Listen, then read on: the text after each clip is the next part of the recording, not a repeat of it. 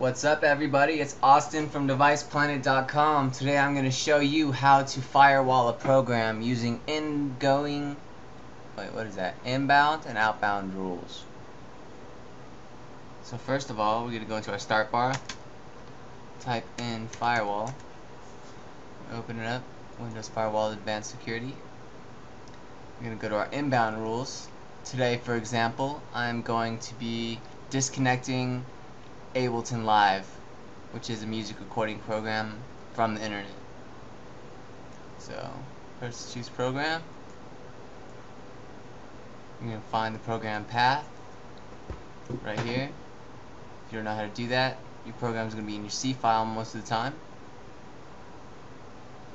You're going to go to Program Files, 86, Ableton, Program, 8.1.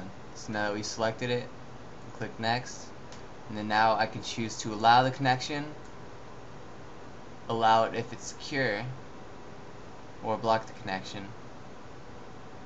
And next, it's going to choose whether it applies to different maybe uh, connections, whether you're at a public place like Starbucks, a private place like your home, domain, maybe at the office. click next. And then you're gonna name it. And that's gonna be the last last prompt before you've created your new inbound rule.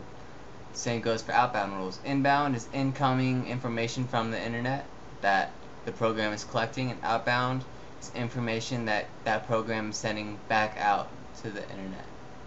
So we can create a new outbound rule clicking new rule. Click program. Next browse. I'm going to select that same program. Block the connection. Now this program can neither receive nor send any type of information using the internet because it is blocked by the firewall